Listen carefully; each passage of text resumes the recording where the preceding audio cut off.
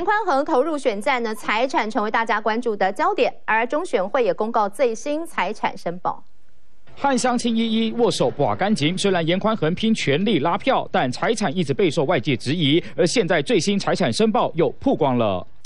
这份中选会公告的财产申报中，和去年相比，原本六十六笔土地变成六十二笔，而建物部分则是十笔。投资事业也不见乔宏公司，虽然存款从八千多万变成两千七百多万，但有价证券从六百一十四万增加到一千三百八十四万。今年的身价一定是超过十亿这个数字，房价都是涨的情况之下，它的土地价值一定比去年来的高。财经专家这么说不是没原因，因为近十年来台中的土地现值就涨了百分之五十八。再细看宽恒夫妻所持有土地，以无期段为例，现在土地现值每平方公尺三万多元，换算下来价值高达三千一百万。另外，台中七期精华地段惠顺段土地现值每平方公尺十六万元，算下来也有一千四百万。以严宽恒夫妻俩六十二笔土地来看，几亿元跑不掉。台股今年的状况。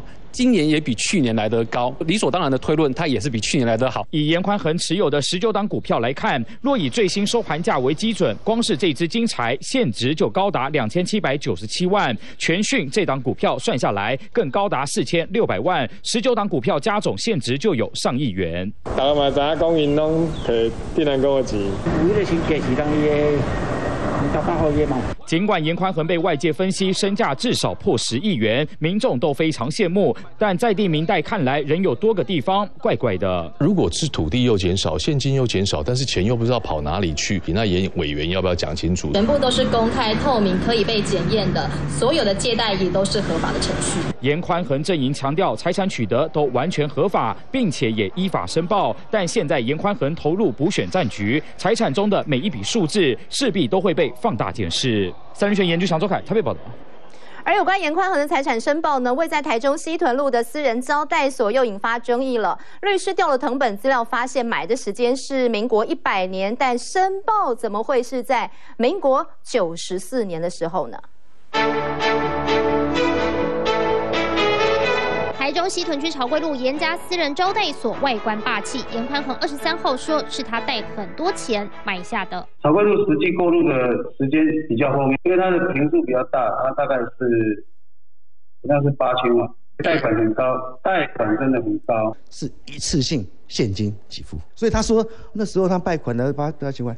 绝对是骗人的，根本就没有贷款。